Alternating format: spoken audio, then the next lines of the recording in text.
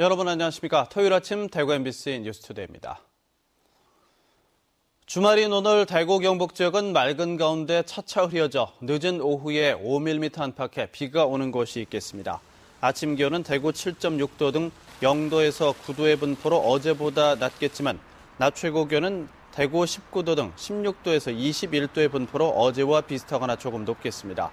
휴일인 내일은 가끔 구름 많은 가운데 약간 강한 바람이 불겠고 대구의 낮 최고 기온이 25도까지 오르는 등 포근하겠습니다.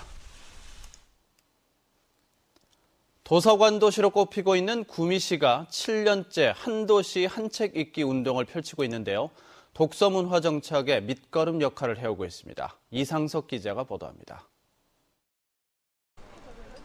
구미시의 도서관 기반 시설은 전국적으로 알아주는 수준입니다. 인구 30만 이상 도시 가운데 인구 대비 열람석 수는 전국 1위이고 장서 보유도 80만 건으로 전국 3위를 자랑하고 있습니다. 이를 바탕으로 시작한 것이 한 책 하나 구미 운동인데 올해로 벌써 7년째입니다. 올해는 한글 창제를 다룬 역사동화, 초정리 편지가 올해의 책으로 선정돼 학교와 새마을 문고 등으로 배부됐습니다. 이런 행사들이 어, 책을 시민들에게 많이 노출시키는다는 점에서 어, 상당히 긍정적으로 보고 있고요. 이 운동이 특히 의미를 갖는 것은 시민들의 참여 속에 이뤄진다는 점입니다. 올해의 책 선정에 해마다 2만여 명의 시민들이 참여해 책을 추천하거나 의견을 제시합니다. 지금까지 작가와의 만남에 2천 명이 넘는 시민이 찾았고 독후감 대회 응모 편수만도 3천여 편에 이릅니다. 어, 이 운동을 계속해서 주부들한테 음, 책이 좀 쉽게 다가가는 그런 계기가 되었으면 좋겠습니다. 구미 씨는 한 책 읽기 운동이 자생적인 독서 문화 정착에 다리 역할을 해줄 것으로 기대하고 있습니다. 독후감 응하는 어떤 그 작품 수라든지 또 그 수준이라든지 또 책 수준 올라가는 이런 부분들 그러고 모든 시민들이 같이 하는 호응도라든지 이 모든 것이 엄청나게 발전하고 있다고 저는 봅니다. 한도시 한 책 읽기 운동이 독서 저변 확대는 물론이고 책을 통한 시민들의 정서적 일체감을 형성하는 데에도 도움을 주고 있습니다. MBC 뉴스 이상석입니다. 문경은 도자기 중에서도 차를 담는 그릇 찻사발이 특히 유명한 곳입니다. 전통 방식을 고수하며 찻사발의 맥을 잇고 있는 문경에서 오늘 찻사발 축제가 개막됩니다. 김건엽 기자입니다. 전통 찻사발의 번향 문경의 도공들은 선조들의 전통 방식 그대로 찻사발을 만들고 있습니다. 직접 흙을 고르며 힘겹게 괭물 작업을 하고 발로 물레를 돌리며 정성껏 찻사발을 빚어냅니다. 문경만의 전통 가마인 망댕이 가마에 장작불을 지펴 뜨거운 불길로 작품을 만들어냅니다. 천년 문경 도공들의 맥을 잇는 찻사발 축제가 오늘 개막됩니다. 올해도 도예 명장들의 특별 전시회를 비롯해 공연과 체험 행사 등의 다채로운 프로그램이 준비되어 있습니다. 관람객들의 작품 구입 부담을 줄이기 위한 방안도 시도됩니다. 다른 해와는 달리 깜짝 경매도 있고 실용자기를 좀 많이 만들어서 어, 일반인들에게 관광객들에게 좀 많이 팔 수 있도록 그렇게 해달라고 특별히 부탁을 해놨습니다. 축제 어플리케이션을 설치하면 스마트폰으로 축제 정보를 확인하며 즐길 수 있습니다. 어, 체험 행사도 많고 볼거리도 많이 많습니다. 많이 오셔서 예, 좋은 예, 관광하시고 좋은 경험하시길 부탁드립니다. 문경 전통 찻사발 축제는 다음 달 5일까지 9일 동안 계속됩니다. MBC 뉴스 김건엽입니다. 조선시대 경상가명의 풍속을 재현하는 올해 첫 행사가 오늘 오후 경상가명공원에서 열립니다. 주요 행사로는 경상가명 안팎을 순찰하는 술락군 활동과 수문군 교대 의식, 시각을 알리는 타종인 경점시보 의식이 있습니다. 무대에서는 군사들의 무예시범인 교열 의식이 이뤄지고 형틀 체험과 가마 타기, 널뛰기, 민속 의상 입어보기 같은 체험 행사도 마련될 예정입니다. 경상 가명 풍속 제연은 지난 2006년부터 해마다 열리고 있는데 올해 행사는 오늘부터 오는 10월까지 한여름이나 비가 내릴 때를 제외하고 매주 토요일 오후에 열릴 예정입니다. 영천 보현산 별빛 축제가 경북 영천시 보현산 천문과학관 일대에서 열리고 있습니다. 주재관 입구에 설치된 환상적인 별자리 터널과 로봇팔 체험, 동전 블랙홀 체험, 1.8m 천체 망원경 포토존, 3D 입체 행성 체험 등이 관람객들의 눈길을 사로잡고 있습니다. 또 태양계 행성 학습 전시물인 솔라 시스템, 태양 실시간 화상 중계 시스템, 나로호 발사 성공 기념 로켓 가든 등 다양한 볼거리 전시가 되고 있고 청소년 어울마당, 버블 매직쇼, 어린이 마술 공연 등 관람객 참여 프로그램도 열리고 있습니다. 올해로 10회째를 맞은 영천 보현산 별빛 축제는 내일까지 열리는데 주말과 휴일을 맞아 더 많은 관람객들이 찾을 것으로 보입니다. 청도 미나리 추출물로 만든 미나리 음료가 중국 시장에 본격 진출합니다. 청도에 본사를 둔 농업회사 법인은 중국 현지에서 상하이 이바오왕 국제무역유한공사와 총판 계약을 맺고 5년간 30억 원 규모의 미나리 추출 음료를 수출하기로 했습니다. 상하이 이바오왕 국제무역유한공사는 중국 유명 백화점 등의 식품을 유통하는 회사로 지난해 매출 규모가 천억 원대에 이릅니다.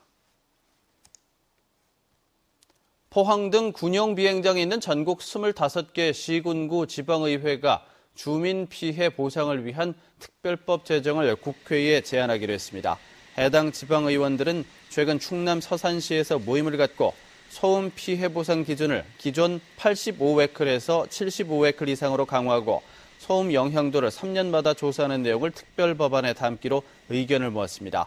회의에 참석한 이상훈 포항시 의원은 최근 제정된 군공항 이전 특별법 대상을 인구 규모로 제한하지 말고 모든 군공항으로 정해야 한다고 주장했습니다. 새누리당 김광림 의원이 대표 발의한 조세 특례 제 한법 개정안이 국회 기획재정위원회에서 의결돼 이달 말 본회의에서 처리될 전망입니다. 지하경제 양성화 1호 입법인 이 법안은 쓰고 난 구리전선이나 조각 같은 동스크랩을 사고 팔 때 산 쪽이 직접 부가가치세를 내도록 하는 것이 골자입니다. 이 법안이 이달 말 본회의에서 처리되면 연간 최소 500억 원, 최대 2천억 원의 세수 효과가 예상됩니다. 한국은행 대구경북본부가 소비자들이 경제 상황을 어떻게 보는지를 종합적으로 나타내는 4월의 소비자 심리 지수를 조사한 결과 104로 나타나 전달 106보다 조금 떨어졌습니다. 현재 생활 형편을 묻는 항목에서는 전월보다 다소 오른 92를 기록했고 앞으로의 생활 형편을 전망하는 항목에서는 100에서 98로 낮아졌습니다. 가계 수입 전망은 전달 100에서 99로 떨어졌고 소비 지출 전망도 110에서 106으로 하락했습니다. 경상북도가 다음 달 15일까지 2013년 중소기업 환경기술 및 설비 지원 사업 공모를 실시합니다. 대상 사업체는 자본금 20억 원 미만, 상시 근로자 수가 50인 미만인 중소기업으로 대기환경보전법과 수질 및 수생태계 보전에 관한 법률에 따른 대표자나 유독물 취급 제한, 금지 물질 제조업 및 사용업의 대표자, 사고 대비 물질을 제조, 사용하는 대표자면 모두 응모할 수 있습니다. 선정된 업체는 환경 오염 방지 시설, 환경 오염 방지 시설에 따른 제조 공정 및 유해 화학 물질 누출 방지 시설 개선 비용 등을 지원받습니다.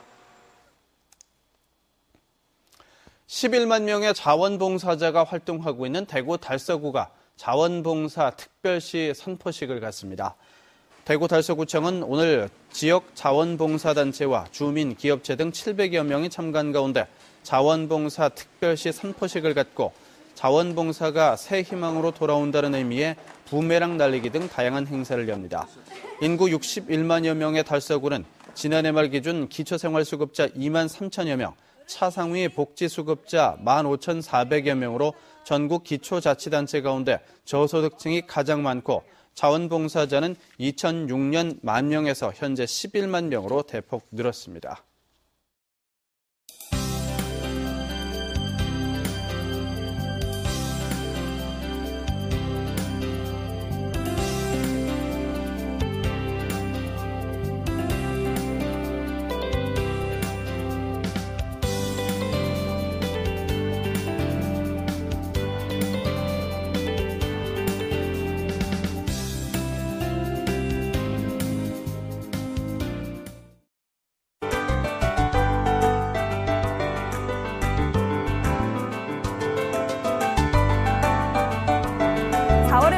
주말인 오늘도 다소 변덕스러운 날씨를 보이겠습니다. 대체로 막다가 차차 흐려져 늦은 오후에는 비가 조금 내리겠는데요. 대구와 경북 남부 내륙에는 5mm 안팎의 강수를 보이겠고 비는 밤에 모두 그치겠습니다. 외출하신다면 작은 우산 챙기시는 게 좋겠고요. 휴일인 내일은 구름만 가끔 많은 가운데 대구의 낮 기온 24도까지 올라 초여름 날씨를 보이겠습니다.